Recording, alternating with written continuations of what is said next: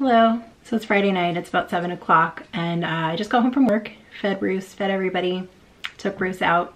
Now I'm gonna eat dinner. I started work at like 10 today and then I came home and did two assessments for VSA, um, which I passed and then uh, went back to work until 7. So I mentioned yesterday that I was supposed to go to Disneyland and I had to cancel because of uh, financial issues and I rescheduled. I did reschedule my trip uh, for April 5th, which is a Tuesday. Um, and I love going during the week. Like I feel like even when I have a choice, I like going during the week. It's usually less crowded, um, although I don't know with spring break, I don't know what it's gonna be like. Um, but I love going during the week and like first thing in the morning. So that trip, I think I'm gonna try to make it an overnight. Um, I don't know if I'll do one night or two. Um, ideally I will do two, but again, it kind of depends on budget. Um, but I always think it's nice to stay the night before um, and then rope drop and then also stay the night after um, because then I'm just exhausted and I can just relax. But anyway, so that day that I'm gonna be going um, is my next day off, um, April 5th. And today is what, April 10th?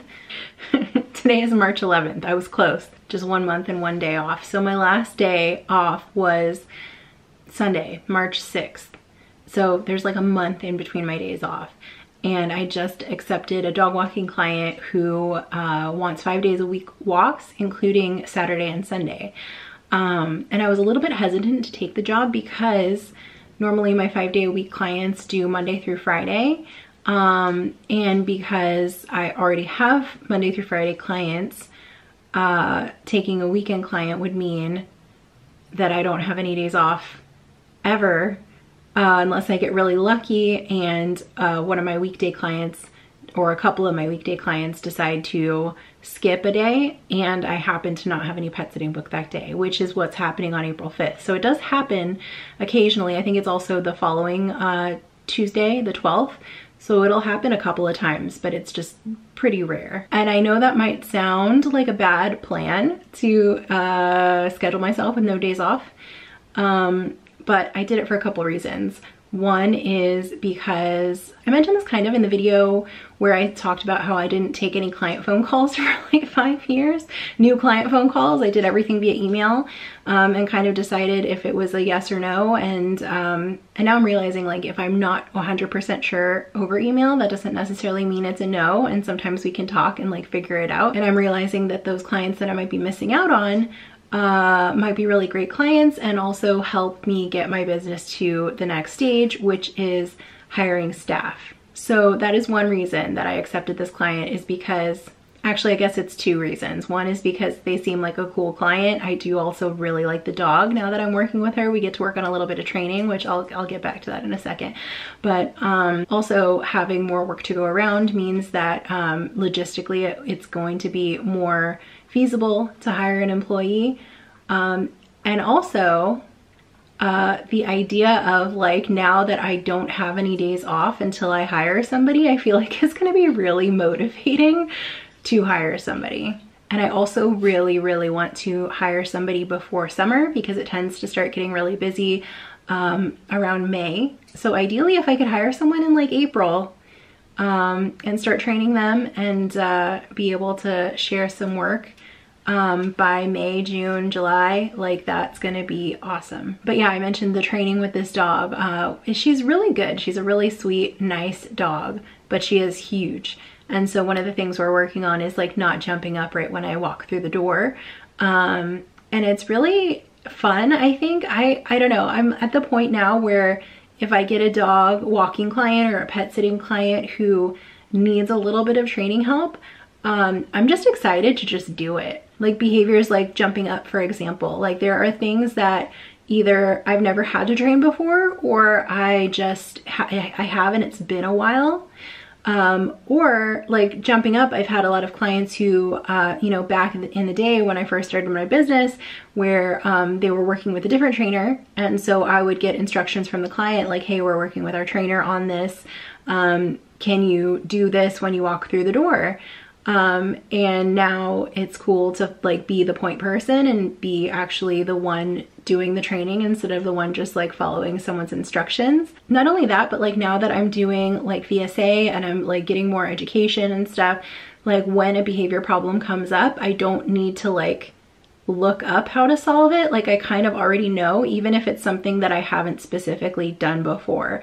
Like I might need to like look up advice or like ask in a dog training group about like fine tuning a thing, but like I can put a basic plan together just based on my knowledge of behavior and training in general without looking up the specific skill. So I feel like that's pretty much all I wanted to say. The one point that I wanted to make that I didn't, and I've like been wanting to like post on Instagram or something about this, um, because, but I don't really know exactly how I want to say it, but I've seen a lot of posts about, um, you know, like hustle culture and like the no days off thing and saying like it's not cool to talk like that. Like, and like in a way I agree with those posts. Like I definitely do. Like it's not like necessarily a badge of honor just to work just for the sake of working.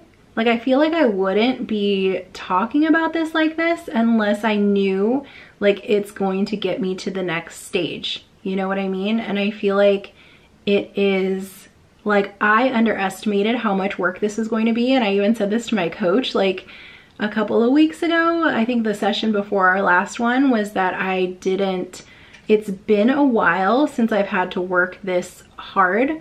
Um, and I mean, I've worked time-wise, like I've worked a lot. I've had a lot of um, stretches with like no days off and where I've, um, you know, like had long days and whatnot. Um, but it's been a while since I've been this challenged um, as far as like doing school and doing the coaching and like restructuring my business and thinking about hiring and like all of this stuff. And it's like there's an emotional investment with it too. It's just like, I don't know, like I, I've, I mentioned that I've been through stretches like this before, working a lot with no days off, but I think this is different because the steps I'm taking are different. It's not like I'm just doing the same thing and expecting different results. Like I'm actually doing different work. And so on the other side of this, like I know that my business is gonna look different and it's gonna work a lot better. Um, so I'm really excited. And I've also been doing this long enough that I know that I need to take breaks. Um, so when I do have like partial days off, like I'm kind of bummed that like yesterday I didn't get to do, go to Disneyland. It was nice to have the day off and just do nothing. Um, but I feel like doing something that really like takes me out of my normal routine and like get out of my head and like not think about work at all. Um, that really helps. Um, that's one of my favorite things about Disneyland is that it really does that for me. So um, probably one of the next days that I have like a partial day off, maybe I'll go to Knott's. Maybe I'll do something. I don't know. Because my Knott's pass comes with parking so it's easy to do like a little pop in and like not stay for that long. Disneyland i have to pay 30 bucks for parking and if i'm gonna pay that like i'm gonna commit. Like like i'm not gonna pay 30 bucks and go on like three rides. Anyway i'm going to uh, eat my splendid spoon. I made some soup.